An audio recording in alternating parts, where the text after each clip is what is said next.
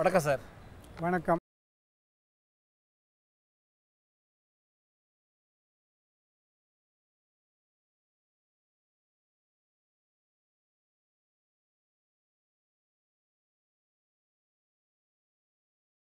ரெண்டாம் ஆண்டு தொடங்கப்பட்டது. இதற்கு பின்னாடி ஒரு பின்னணி இருக்கிறது. சுவாமி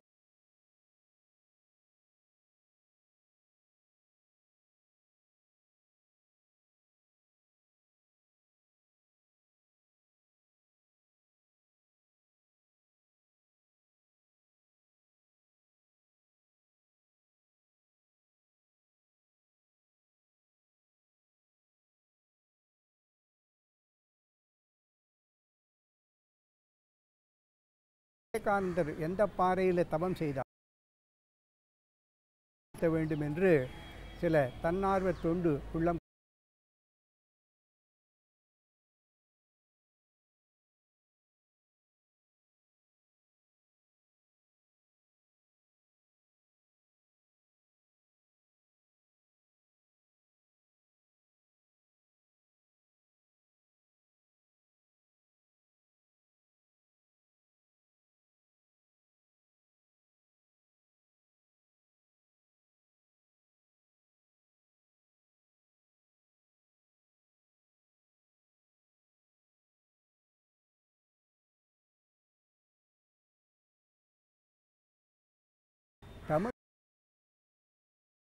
लेके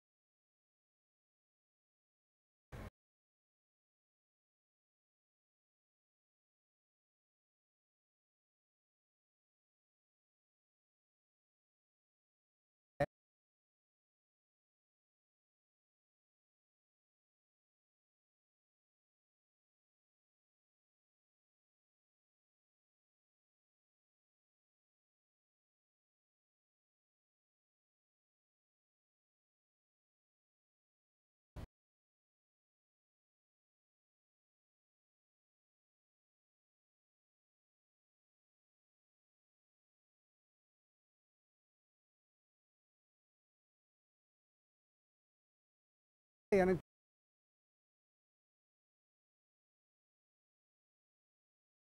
பெரிய தேசிய இயக்கத்தில் இருந்த இளைஞர்கள் அந்த நூற்றாண்டு விழாவின் பொழுது பல்வேறு பணிகள் செய்திருக்கிறோம். இந்த நினைவு பாறை சின்னம் வரும்பொழுது ஒரு ரூபாய்க்கு விவேகானந்தருடைய ஃபோட்டோ வீடு வீடாக கொடுத்து அவருடைய படத்தை கொடுத்து ஒரு ரூபாயாக கலெக்ட் பண்ணுவது. என்று மானனீய ஏகநாத் ரானடே அவர்களுடைய வழிகாட்டுதல் வேலை நிறைய இளைஞர்கள் அந்த வேலையில் பணியில் ஈடுபட்டு இருந்தார்கள் நீங்கள் வந்து உங்களுடைய கல்லூரி வாழ்க்கையை வந்து ஏஎம்ஜேஎன் காலேஜில் பண்ணீங்க அப்படின்னீங்க. உங்களுடைய பள்ளி வாழ்க்கையை எங்கே ஆரம்பிச்சீங்க? உங்களுக்கு வந்து ஒவ்வொரு மாணவர்களுக்குமே வந்து அவங்களுக்கு மறக்க முடியாத ஆசிரியர் பெருமக்கள் பேராசிரியர் பெருமக்கள் கண்டிப்பாக இருப்பாங்க.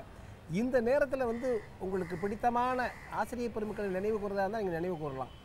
கண்டிப்பாக. எனக்கு வந்து தஞ்சை மாவட்டத்தில் கும்பகோணத்துக்கு அருகில் திருவேழிமிடலைன்னு ஒரு ஊர் இருக்கிறது.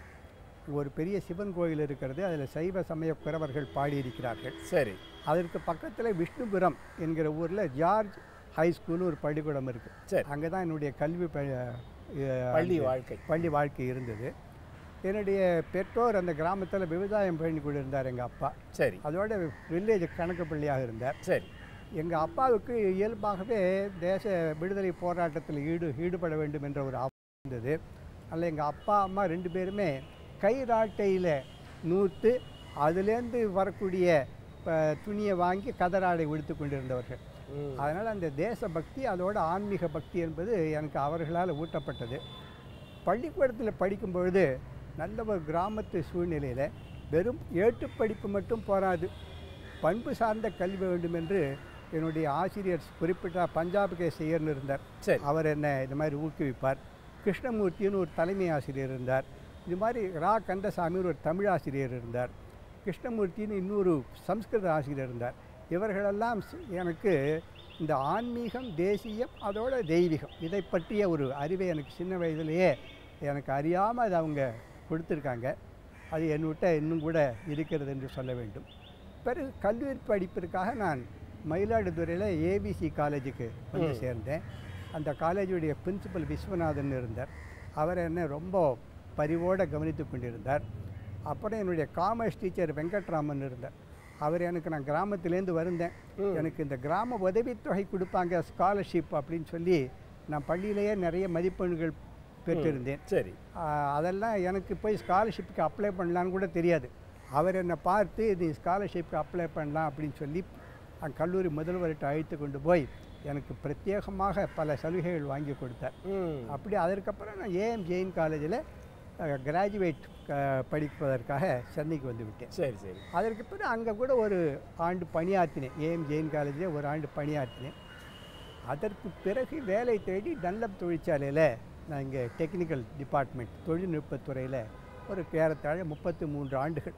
சாதாரணமாக ஒரு டெக்னிக்கல் அசிஸ்டண்ட்டாக சேர்ந்து அதற்கப்புறம் மேனுஃபேக்சரிங் டெக்னாலஜி அந்த டிவிஷனில் ஹெட்டாக இருந்து நான் பணி. ஓய்வு பெற்றீங்க. முப்பத்தி மூணு வருஷம் பணி புரிந்திருக்கேன் ரொம்ப அதை பற்றி ஒரு கண்டிப்பாக ஒரு கேள்வி கேட்கணும். நீங்கள் ஏன்னா வந்து அந்த டயர் சம்மந்தமாக சொல்லிட்டீங்க. மேனுஃபேக்சரிங் யூனிட்டில் இருந்திருக்கீங்கன்னு சொல்லிட்டு. நீங்கள் அந்த மாதிரி பணிபுரியிற நேரத்தில் நீங்கள் வந்து ஐஎஸ்ஓ இதெல்லாம் நீங்கள் வந்து வாங்கி கொடுத்துருக்கீங்க. அது இல்லாமல் வந்து ஜப்பானுக்கெலாம் போயிட்டு வந்தீங்கன்னு சொல்லி நாங்கள் கேள்விப்பட்டோம். அந்த அனுபவத்தை கொஞ்சம் சொல்லலாமே. இல்ல, அப்பொழுது அஹ், ஒரு குறிப்பிட்ட ஒரு நிலையில் இந்த டயர் செய்ய உற்பத்தி செய்யும் பொழுது அதனுடைய குறைபாடுகளை எல்லாம் நீக்குவதற்காக புதிய ஒரு வழிமுறை முன்னேற்றமான வழிமுறை என்பதை நான் க யோஜனை செய்து அந்த யோஜனைக்காக தமிழக அரசாங்கத்தினால ஸ்ரம்வீர் அவார்டு என்கிறது அந்த அவார்டு நான் விருது பெற்றிருக்கிறேன். அதற்கு பிறகு என்னுடைய வளர்ச்சி டன்லப் தொழிற்சாலையிலையும் இருந்தது. அதற்கு பிறகு ஐஎஸ்ஓ அந்த சான்றிதழ் வரும்பொழுது அந்த ஐஎஸ்ஓ கோஆர்டினேட்டராக டன்லப் தொழிற்சாலையில் என்னை நியமித்தார்கள். ஏறத்தாழ ரெண்டாயிரம் பேர் வேலை செய்யக்கூடிய நிறைய பிரிவுகள் இருக்கக்கூடிய அந்த இடத்துல இந்த தொடர்ந்து நடக்கக்கூடிய உற்பத்திக்கு அப்பாற்பட்டு உற்பத்தி செய்யும்போது இருக்கக்கூடிய நடைமுறைகள் அவைகளுக்கெல்லாம் ஒரு வழிவகுக்கக்கூடியதான் ஐஎஸ்ஓ. அதை ஒருங்கிணைக்கக்கூடிய அந்த வேலை எனக்கு ஒரு பெரிய அனுபவமாக இருந்தது. சார் நீங்கள் வந்து வித்யா பாரதி அமைப்பில் தமிழ்நாடு கேரளாலாம் பார்த்துக்கிட்டீங்க அதில் நீங்கள் தலைவராக இருக்கீங்க. அதனுடைய அமைப்பை பற்றி கொஞ்சம் சொல்லுங்களேன். வித்யாபாரதி என்பது கல்வித்துறையில் தேசியத்தையும் தெய்வீகத்தையும் அடிப்படையாக கொண்ட குழந்தைகளுடைய ஒருங்கிணைந்த வளர்ச்சி. அதாவது உடல் மனம் ஜீவன் ஆன்மா இது அனைத்துக்கும் சேர்ந்ததான ஒரு வளர்ச்சியை கொடுக்கக்கூடிய கல்வி முறை. அதை கொடுக்க வேண்டும் என்பதற்காக பல்வே நாடு முழுவதிலும் இருக்கக்கூடிய பள்ளிக்கூடங்களுக்கு வழிகாட்டக்கூடிய ஒரு இயக்கம். சரி. இந்த இயக்கத்தில் நாடு முழுவதும் இருபத்தி ஏழாயிரத்துக்கு மேற்பட்ட பள்ளிக்கூடங்கள் வழிகாட்டுதலை பெறுகின்றன. இது ஒரு அகில இந்திய இயக்கம். சரி. இதில் இதற்கென்று வழிகாட்டுதல் என்றால் இதற்காக நிறைய மாணவர்களுடைய இந்த குணங்களெல்லாம் எடுத்துச் செல்லப்பட வேண்டும் என்பதற்காக பல்வேறு நிகழ்ச்சிகள் வித்யாபாரதியின் மூலமாக நாடு முழுவதும் நடத்தப்படுகின்றன. சரி. இது போன்று அப்புறம் குழந்தைகள் மழலையர் கல்வி. அதில் ரொம்ப ஸ்பெஷலைஸ் பண்ணியிருக்கிறது வித்யாபாரதி. குழந்தைகளுடைய புலன்களுடைய வளர்ச்சி அவர்கள் தொட்டு பார்த்து பேசி அந்த மாதிரி அவர்களுடைய புலன்களுடைய வளர்ச்சி ஒருங்கிணைப்பு. இவற்றையெல்லாம் அடிப்படையாக கொண்ட அதை சிசுவாடிகா என்று மழலையர் தோட்டம் என்று சொல்கிறோம். இந்த மாதிரி பல்வேறு வழிமுறைகளின் மூலமாக மாணவர்களுடைய டோட்டல் பர்சனாலிட்டி டெவலப்மெண்ட் ஒருங்கிணைந்த வளர்ச்சிக்கு வித்யாபாரதியானது வழிகாட்டுகிறது. விவேகானந்தா அந்த கல்விக் கழகத்தை பற்றி பேச வருவோம் இப்போ. இங்கே வந்து எத்தனை ஸ்கூல் இருக்குது அது கீழே. வே ஆரம்பத்திலே குறிப்பிட்டது போல ஆயிரத்தி தொள்ளாயிரத்தி எழுபத்தி ரெண்டாம் ஆண்டு இது தொடங்கியது. ஒரு திட்டமிட்ட முறையில் இந்த வளர்ச்சியானது ஏற்பட்டது. இதில் வந்து ஆரம்பத்தில் இதோட தொ- தொடர்பு கொண்டிருந்தவர் கேஆர் சுந்தரமையர் என்று ஒரு பெரிய தொழில்துறையில் முன்னோடியாக இருந்தவர். அவர். தலைவராக இருந்தார். திரு பி கோவிந்தராஜன் என்று சொல்லி இந்தியா பெஸ்டன் கம்பெனியில் அவர் வேலை பார்த்து கொண்டிருந்தார். மேலதிகாரியாக அவர் செயலாளராக இருந்தார். இதுபோல பல நல்ல உள்ளங்கள் சேர்ந்து இந்த கல்விக் கழகத்தை உருவாக்கினார்கள். அவர் முதல் பத்து ஆண்டுகளில் அப்பொழுது சென்னை நகரத்தை உள்ள சுற்றியுள்ள பகுதிகள் இப்போ இருக்கக்கூடிய அண்ணா நகரோ அல்லது அம்பத்தூரோ கொரட்டூரோ அப்போதெல்லாம் புறநகர பகுதி. அந்தந்த இடங்களில் நிறைய எங்கெங்கெல்லாம் வாய்ப்பு இருக்கிறதோ அங்கே ஒரு பள்ளிக்கூடம் ஆரம்பிப்பது என்று சொல்லி முதல் பத்து ஆண்டுகளில் பத்து இடங்களில் பள்ளிக்கூடங்களை ஆரம்பித்தார். எல்லா பள்ளிக்கூடங்களும் நடுவண் அரசனுடைய சிபிஎஸ்சி அந்த பாடத்திட்டத்தின் கீழே ஆரம்பித்தன. இப்பொழுதும் அப்படி தான் நடந்து கொண்டிருக்கின்றன. இந்த மாதிரி ஒரு பத்து ஆண்டுகள் அடுத்த பத்து ஆண்டுகள் அதுவும் திட்டமிட்ட முறையில். முதல்ல ஆரம்பிக்கும் பொழுது வாடகை இடத்துல கீத்து கொட்டகையில் அப்படிலாம் தான் பள்ளிக்கூடமானது நடந்து கொண்டிருக்கிறது.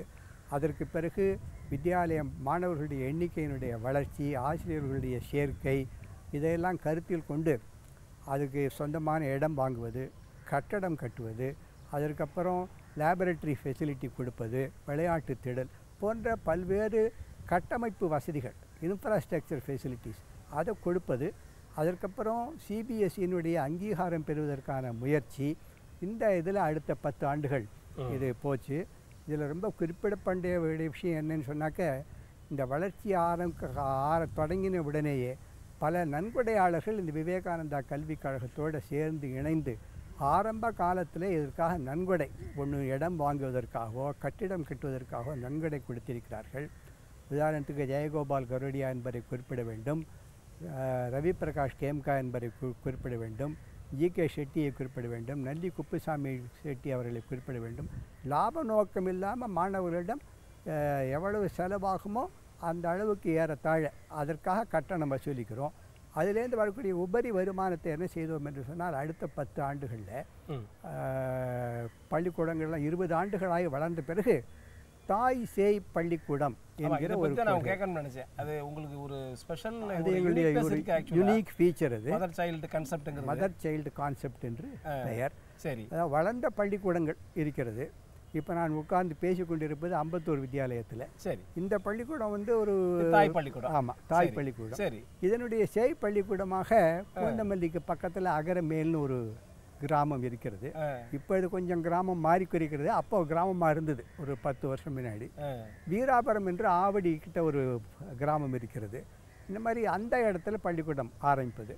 அதனுடைய வளர்ச்சிக்கு இதனுடைய உபரி வருமானம் இந்த ஆசிரியர்களுக்கான பயிற்சி இந்த மாதிரி ஒரு தொடர் சங்கிலியாக ஆயிரத்தி தொள்ளாயிரத்தி தொண்ணூற்றி ஏழாம் ஆண்டு தொடங்கி இன்று வரை அது அந்த வேலை மதர் சைல்டு கான்செப்ட் ஒவ்வொரு மதர் ஸ்கூலும் இப்போ கொரட்டூர்னா கொரட்டூருக்கும் ம சைல்டு ஸ்கூல் இருக்குது பெரம்பூருக்கு சைல்டு ஸ்கூல் இருக்குது எங்கெங்கெல்லாம் எங்களுடைய பெரிய பள்ளிக்கூடங்கள் மேல்நிலை பள்ளிக்கூடங்கள் இருக்கின்றனோ அதற்கெல்லாம் சார்பாக குழந்தை பள்ளிக்கூடங்களும் இருக்கின்றன. இப்போ மாணவர்கள் இப்போ வந்து இப்போ எவ்வளவு பேர் இருப்பாங்க? இந்த நீங்க சொன்ன இந்த ஸ்கூல்ஸ்ல? எங்கள் இப்போ மேல்நிலை பள்ளிக்கூடங்கள் ஒன்பது பள்ளிக்கூடங்கள் இருக்கின்றன. சென்னையில்.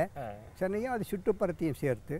அதே மாதிரி ம அடுத்த நிலையாக சேய் பள்ளிக்கூடங்கள் மத சைல்டு ஸ்கூல் பதினோரு பள்ளிக்கூடங்கள் இருக்கின்றன. இந்த மொத்தம் இருபது பள்ளிக்கூடங்களில் ஏறத்தாழ முப்பத்தி ஐயாயிரம் மாணவர்கள் மாணவ மாணவிகள் இப்பொழுது கல்வி பெற்று கொண்டிருக்கிறார்கள். ஆயிரத்தி இரநூறுக்கு மேலே ஆசிரியர்கள் பணிபுரிகிறார்கள்.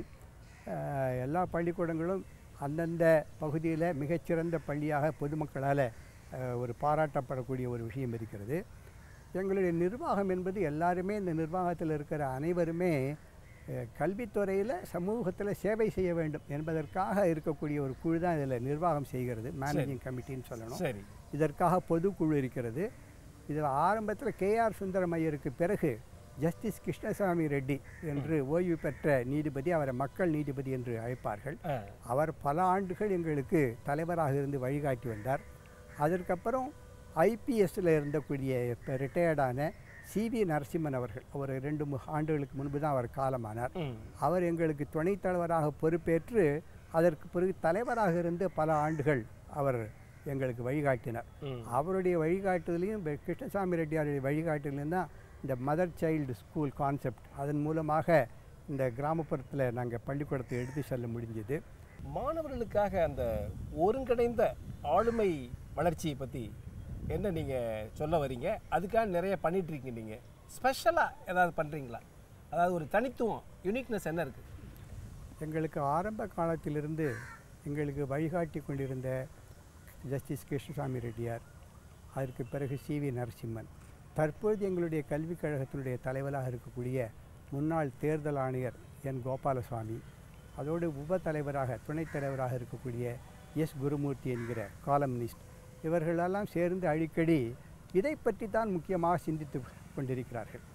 அதற்கு பிறகு என்ன சிந்திக்கிறார்களோ குறிக்கோளோ அதை வழி நடத்துவதற்காக அந்தந்த பள்ளிக்கூடத்தில் தாளாளர்கள் என்று தன்னார்வ தொண்டு நிறுவத்து உள்ளம் கொண்டவர்கள் இருக்கிறார்கள் ஆசிரியர் பெருமக்கள் இருக்கிறார்கள். இவர்களெல்லாம் சேர்ந்து கல்விக் கழகத்தில் பல்வேறு விதமான நிகழ்ச்சிகளை நாங்கள் கடந்த நாற்பது ஆண்டுகளாக எங்களுடைய அனுபவத்தினுடைய அடிப்படையில் நடத்தி கொண்டிருக்கிறோம். குறிப்பிட்டு சில விஷயம் சொல்ல வேண்டும். எங்களுக்கு முக்கியமாக ஆறு குறிக்கோள் மாணவர்களை பொறுத்தி இருக்கிறது அவர்களுடைய physical development mental development talent development intellectual development patriotism and love of God இது எங்களுக்கு ஆறு முக்கியமான மாணவர்களுக்கு எந்த மாதிரி பயிற்சியை கொடுக்க வேண்டும் என்பதற்காக இதை ஒட்டி ஆண்டு முழுவதும் பல்வேறு நிகழ்ச்சிகள். குறிப்பிட சொல்ல வேண்டும் என்று சொன்னாக்க எங்களுக்கு ஒரு மாணவர்களுடைய நேஷனல் குரூப் சிங்கிங் காம்படிஷன் என்று நடக்கிறது. அதற்கு ஒவ்வொரு பள்ளிக்கூடத்திலையும் கலாச்சார நாடக விழா ஒவ்வொரு பள்ளிக்கூடத்திலையும் ஒரு நல்ல உயர்ந்த குறிக்கோளை எடுத்துக்கொண்டு அதை ஒட்டி நடக்கிறது. அதுக்கப்புறம் இன்டர் ஸ்கூல் டேலண்ட் காம்படிஷன் அப்படின்னு சொல்லி அது ஒரு யோகாசனா காம்படிஷன். டேலண்ட் காம்படிஷன் இந்த மாதிரி பல்வேறு நிகழ்ச்சிகள். அதற்கப்புறம் ரொம்ப முக்கியமாக இரண்டு மூன்று விஷயங்களை குறிப்பிட வேண்டும். மாணவர்களுக்கு சுவாமி விவேகானந்தர் சொல்லியிருக்கிறார் education should promote concern for the fellow being அப்படின்னு சொல்லி. It should not be mere oneupmanship சரி. தான் மட்டுமே வளர வேண்டும் அல்ல தன்னோட கூட இருப்பவர்களுடைய நலனிலையும் அக்கறை காட்ட வேண்டும். அவர்களுக்கு தேவை இருந்தால் சேவை செய்ய வேண்டும் என்று சுவாமி விவேகானந்தர் கல்வியினுடைய நோக்கமாக அதை குறிப்பிட்டிருக்கிறார். எங்களுக்கு இங்கே பக்கத்தில் மணலிக்கு பக்கத்தில் ஒரு கிராமம் இருக்கிறது. அங்கே எங்களுடைய ஒரு பள்ளிக்கூடத்தில் இருக்கிற மாணவர்கள் இந்த தீக்ஷா கேம்புக்கு ஒரு ஒரு வருஷம் ரெண்டு வருஷம் போனதற்கு பிறகு அந்த கிராம தேவைக்காக ஒரு நூலகமே கட்டி கொடுத்திருக்கிறார்கள். அந்த மாதிரி இது தீட்சா என்பது எங்களுடைய ஒரு சிறப்பான ஒரு இது இரண்டாவது ஏற்படைய குறிப்பிடுதல் குருகுல கல்வி. அது இன்றைய சூழ்நிலையில் குடும்பம்னா ஒரு குழந்தை ரெண்டு குழந்தை தான் இருக்குது அதனால் குருகுல கல்வி என்று ஒரு பத்து ஆண்டுகள் குழந்தையை வெளியிலேருந்து எடுத்து அனுப்ப முடியாது. ஆனால் அந்த உணர்வை மாணவர்களுக்கு கொண்டு வர வேண்டும் என்பதற்காக. ஆறாவது வகுப்புக்கு ஒரு மாணவனோ மாணவியோ வரும்பொழுது பெற்றோர் அந்த மாணவனை பள்ளிக்கூடத்திற்கு அழைத்து கொண்டு வந்து ஆசிரியருடைய காலிலே வணங்கி அவனுக்கு இந்த நல்ல பிரம்மச்சரியத்தை கடைபிடிப்பேன் என்னுடைய ஒருமுகமான க மனத்தை வைத்துக்கொண்டு கல்வி கற்பேன் தேசத்தை மதிப்பேன் நல்ல பண்புள்ளவனாக இருப்பேன் பெரியோர்களை மதித்து நடப்பேன். இது போன்ற தேசத்தை ரொம்ப காப்பாற்றுவேன். போன்ற உறுதிமொழிகளை எடுத்துக்கொள்வார்கள் அதுக்கு பேர் வித்யா பிரவேஷ் என்று பெயர். இது முதல்ல நாங்கள் ஆரம்பித்தோம். இதை எங்களுடைய பார்த்து இப்பொழுது சென்னையில் பல பள்ளிக்கூடங்கள் இந்த நிகழ்ச்சிகளை நடத்த ஆரம்பித்திருக்கிறார்கள். தேசபக்தி தெய்வபக்தி ரொம்ப முக்கியங்கிறது விவேகானந்தர் சொல்லியிருக்காரு. நீங்கள் இதை வந்து உங்கள் பள்ளி மாணவர்களுக்கு வந்து சொல்லியிருக்கீங்களா? எங்களுக்கு வந்து தேசபக்தி என்று சொன்னாக்க எல்லா பள்ளிக்கூடங்களையும் ஏதாவது நம்முடைய பாரத நாட்டு உதாரணத்துக்கு சொல்ல விரும்புகிறேன். பாரத நாட்டில் இருக்கக்கூடிய போர் கார்கில் போராக இருக்கலாம் பாகிஸ்தான் போரில் இருக்கலாம் அங்கே உயிர் நீத்த பல போர் வீரர்கள் இருப்பார்கள். ஒவ்வொரு பள்ளிக்கூடமும் அந்த உயிர் நீத்த போர் வீரரில் யாராவது ஒருத்தரை அடாப்ட ஹீரோ அவர்களை அடாப்ட் பண்ணிகிட்டு இருக்கும். பண்ணி அவர்களுடைய வாழ்க்கையை நினைவு கூறுகிறோம் தியாகத்தை நினைவு கூறுகிறோம். அதுக்கப்புறம் மாணவர்கள் இது மாதிரி தேச சேவைக்கு செய்வதற்காக வந்து நாட்டினுடைய டிஃபென்ஸ் அதில் கூட போய் சேரலாம் அப்படிங்கிற ஒரு எண்ணத்தை கொடுக்குறோம். இது பேட்டி பேட்டியாட்டிசத்திற்காக பரம்வீர் சக்ரா அவார்டு வாங்கினவர்களுக்கெல்லாம் எங்களுக்கு வந்து ஐஎம்சிடின்னு ஒரு ஆர்கனைசேஷன் இருக்கிறது. Initiative for moral and cultural training அதோட ஒன் ஆஃப் தி ஆப்ஜெக்டிவ்ஸ் வந்து இந்த பேட்ரியாட்டிசம் அது அவர்களோடு இணைந்து நாங்கள் பரம் வீர் சக்ரா விருது பெற்றவர்களை அவர்களை எல்லாம் நாங்கள் போற்றுகிறோம். இந்த மாதிரி பல்வேறு நிகழ்ச்சிகள் பேட்டி ஆர்டிஸ்டிற்காக லவ் ஆஃப் காட் அண்ட் ஆன்மீகம் என்பதற்காக எல்லா பள்ளிக்கூடங்களிலும் இயல்பாகவே தாய்மார்களுக்காக குத்துவிளக்கு பூஜை. அதற்கப்புறம் வந்து சகசநாம பாராயணம் கீதா சாண்டிங் பஜன். எங்களுடைய பள்ளிக்கூடத்தில் பஜன் சாம்ராட்டில் மாணவர்கள் அகில இந்திய அளவில் பெயர் பெற்றிருக்கிறார்கள். அந்த மாதிரி நிகழ்ச்சிகள். அதற்கப்புறம் சமீபத்தில் பிரதமர் மோடி அவர்கள் ஸ்வச் பாரத் தூய்மை இந்தியா என்ற ஒரு திட்டம் கொண்டு வந்தார். அதில் எங்களுடைய பள்ளிக்கூடத்தில் இருக்கக்கூடிய மாணவ மாணவிகள் அதில் அகில இந்திய அளவில் தேர்வு பெற்று அங்கே ஆல் இண்டியா ரேடியோவில் ஒரு காம்படிஷன் நடத்தினாங்க. அதில் ஃபஸ்ட்டு ப்ரைஸ் வந்திருக்காங்க. இந்த மாதிரி பல்வேறு நிகழ்ச்சிகளின் மூலமாக அவர்களுக்கு பங்கேற் மாணவர்களுடைய பங்கேற்பின் மூலமாக இந்த பேட்ரியாட்டிசம் அதுக்கப்புறம் love of God spiritual development இதை நான் கொண்டு வரதுக்கு முயற்சி பண்ணுகிறோம் நல்ல அளவு வெற்றியும் பெற்றிருக்கிறோம் என்று தான் சொல்ல வேண்டும். முக்கியமாக இது கிராமப்புறத்தில் இதை எடுத்து செல்வது எங்களுடைய ஒரு பெரிய பெருமைக்குரிய விஷயமாக நாங்கள் கருதுகிறோம். புதிய கல்விக் கொள்கை பற்றி நீங்கள் என்ன சொல்ல வரீங்க? புதிய கல்விக் கொள்கை பற்றி ஒரு பொறுப்புள்ள ஒரு கல்வி இயக்கமாக இருப்பதனால் எங்களுடைய கருத்தை நான் நீங்கள் கேட்பதிலேயே எனக்கு ரொம்ப சந்தோஷம். ரொம்ப முப்பது ஆண்டுகளுக்கு பிறகு காலம் தாழ்ந்து ரொம்ப நல்ல விஷயம் அரசாங்கம் கல்விக் கொள்கையை மறுபரிசீலனை செய்து இன்றைக்கு தேசத்தில் சமுதாயத்தில் ஏற்படக்கூடிய தொழில்நுட்பம் தகவல் பரிமாற்றம் இதனுடைய முன்னேற்றங்களை எல்லாம் கருத்தில் கொண்டு அதோடு கூட கல்வி என்பது வெறும் ஏட்டுக்கல்வி மட்டுமல்ல. அவனுக்கு தன்னம்பிக்கையை தர வேண்டும் படைப்பாற்றலை தர வேண்டும் சிந்திக்கக்கூடிய திறனை தர வேண்டும் தகவல் பரிமாற்றம் எப்படி செய்து கொள்ள முடியும் என்பதை தர வேண்டும் வேலை வாய்ப்பை தர வேண்டும். இதையெல்லாம் கருத்தில் கொண்டு சொல்லப்போனால் அரசாங்கத்தினுடைய கணிப்புப்படி ரெண்டாயிரத்தி இருபத்தி ரெண்டாம் ஆண்டு ஒரு கோடி பத்து கோடிக்கு மேலே இருக்கக்கூடிய இளைஞர்கள் இருபத் முப்பது வயதுக்குள்ளே இருக்கக்கூடிய இளைஞர்கள் வேலைக்காக காத்திருக்கப் போகிறார்கள். எனவே இந்த புதிய கல்விக் கொள்கையில் அதை கவனத்தில் கொண்டு மாணவர்களுடைய படைப்பாற்றல் சிந்திக்கும் திறமை நெறி சார்ந்த கல்வி இவற்றையெல்லாம் பள்ளி கல்விக்கூடத்திலேருந்து ஹையர் எஜுகேஷன் வரைக்கும் என்ன மாதிரி பண்ண முடியும் அப்படிங்கிறத பற்றி ரொம்ப சிறப்பாக யோஜனை பண்ணி பல முன்மொழிவுகள் இப்பொழுது கொண்டு வந்திருக்கிறார்கள். அதை பற்றி தேச அளவில் இப்பொழுது ஒரு மறுபரிசீலனை கருத்தரங்குகள் நடைபெற்றிருக்கின்றன. இதில் நிறைய நல்ல அம்சங்கள் இருக்கின்றன. அதை நாங்கள் ரொம்ப வரவேற்கிறோம். முக்கியமாக வேலைவாய்ப்பை தருவது மனிதர் குழந்தைகளுடைய பரிபூரணமான வளர்ச்சி. வெறும் ஏட்டுக்கல்வி மட்டும் இல்லை இதுக்கு வழிகோலுகிறது என்றே நான் சொல்ல வேண்டும். அதோடு கூட நம்முடைய பாரதத்தினுடைய கலாச்சாரம் பண்பாடு இது எல்லா மாணவர்களுக்கும் தெரிய வேண்டும். அப்புறம் உயர்கல்வியில் மாணவர்களுடைய தனித்திறமையை கண்டுபிடித்து அவர்களுக்கு அதுக்கு மாதிரி கல்வி படிப்பதற்கான வாய்ப்பு கொடுக்க வேண்டும். ரொம்ப முக்கியமாக ஸ்கில் டெவலப்மெண்ட் அவர்களுடைய படைப்பாற்றல் அதோட அவ தனித்திறமை இதை கண்டுபிடித்து பள்ளிக்கூடத்தில் படிக்கும் பொழுதே ஏதாவது ஒரு ஸ்கில் அவங்க தெரிந்து கொள்ள வேண்டும் என்கிற பல நல்ல விஷயங்கள் இந்த புதிய கல்விக் கொள்கையில் இருக்கிறது. இப்போ அந்த நிகழ்ச்சியினுடைய நிறைவு பகுதியில் இருக்கோம். உங்களுடைய குடும்பத்தை பற்றி சொல்லுங்கள் நான் வந்து ஒரு சாதாரண கிராமத்தில் தஞ்சை மாவட்டத்தில் பிறந்தேன். என்னுடைய அப்பா வந்து அங்கே விவசாயம் பண்ணி கொண்டிருந்தார். அதோட ஒரு டெக்ஸ்டைல் ஷாப் ஜவுளி கடை வைத்திருந்தார். அந்த கிராமத்தினுடைய நிர்வாக அதிகாரியாக இருந்தார். எங்கள் அப்பா அம்மா ரெண்டு பேருமே அவங்க சுதந்திரம் வாங்குவதற்கு முன்பு நாட்டினுடைய சுதந்திரம் கிடைக்க வேண்டும் என்பதற்காக காந்திஜியினுடைய அறிவுரையை ஏற்றி அவர்கள் ராட்டையில் நூல் நூற்று அதிலேருந்து வரக்கூடிய வருமானத்தை வைத்துக்கொண்டு கதராடையை உடுத்தி அந்த மாதிரி வாழ்ந்தவர்கள். அதனால் அந்த பண்பு பதிவு எனக்கு ரொம்ப சின்ன வயதிலேயே கிடைத்திருக்கிறது. அது நான் செய்த ஒரு பாக்கியம் என்றே சொல்லுவோம். எங்கள் அப்பா எப்பவுமே சொல்வார் எப்பொழுதுமே வாழ்க்கையில் நேர்மையாக இருக்க வேண்டும் என்பதை எனக்கு அடிக்கடி வலி வலியுறுத்தி கொண்டிருக்கிறார். அதுதான் இன்றைக்கி அதோட சமுதாயத்திற்கு ஏதாவது செய்ய வேண்டும் என்று அந்த ஒரு பிடிப்பு எனக்கு இருக்க வேண்டும் என்று எங்களுக்கு அறிவுறுத்தி இருக்கிறார் அது என்ன இன்று கூட அதை வழிநடத்தி இப்போ உங்கள் உங்கள் ஃபேமிலியில் அதை கடைப்பிடிக்கிறீங்களா அப்பா அம்மா சொல்லிட்டீங்க. எங்கள் குடும்பமே அந்த மாதிரி. என்னுடைய தம்பி தம்பி வீட்டில் மனைவி பிள்ளை எல்லாருமே இந்த மாதிரி ஏதாவது ஒரு துறையில் சேவை செய்ய வேண்டும் என்பது அந்த பணி தொடர்ந்து கொண்டே எல்லாரும் செய்து கொண்டிருக்கிறோம். அது ரொம்ப இறைவன் எங்களுக்கு கொடுத்த ஒரு வாய்ப்புன்னு தான் நான் சொல்லுவேன் ரொம்ப மகிழ்ச்சி. இவ்வளவு நேரம் வந்து வேலை பழுவுக்கு இடையில வந்து உங்களது எங்களுக்காண்டி ஒரு பொன்னான நேரத்தை ஒதுக்கி பொதிகை நேயர்களுக்கு வந்து உங்களுடைய அனுபவத்தை நீங்கள் வந்து பகிர்ந்ததுக்கு பொதிகை தொலைக்காட்சியின் சார்பாகவும் நேயர்கள் சார்பாகவும் நன்றி வணக்கம். விவேகானந்தா கல்விக் கழகத்தினுடைய சார்பில் பொதிகை தொலைக்காட்சிக்கும் உங்களுக்கும் நான் நன்றி சொல்ல வேண்டும். ஏனென்றால் சொன்னால் அந்த கலைஞர்களுக்கும் ஏன்னா இந்த மாதிரி ஒரு நல்ல விஷயங்கள் ஆரவாரம் இல்லாமல் அமைதியாக நாங்கள் செய்து கொண்டிருக்கிறோம். அது மக்களுக்கு செல்ல வேண்டும். இதை போல பலர் பல்வேறு துறைகளில் சமுதாயத்திற்காக தொண்டு செய்ய வேண்டும். அப்பொழுது நாட்டினுடைய முன்னேற்றம் மிக விரைவில் வரும் என்று எதிர்பார்க்கிறோம். அதுக்கு எல்லாம் வர இறைவனும் அருள் புரியட்டும். நன்றி. வணக்கம்.